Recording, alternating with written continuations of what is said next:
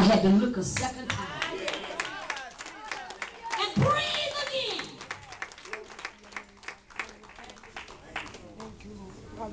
Say, God, what is the purpose for the church? And I'm closing.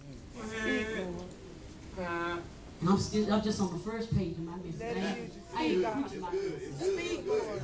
Let him have his way. I said, God, tell me the real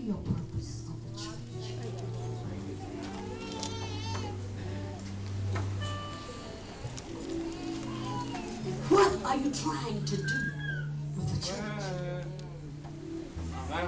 He said, I'm trying to take the church back to Adam. Jesus, Jesus.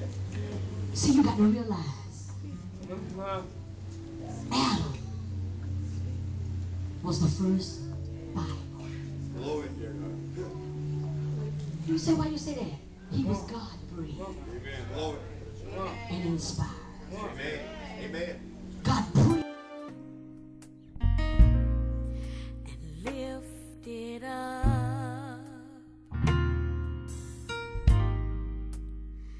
And his train fill the temple.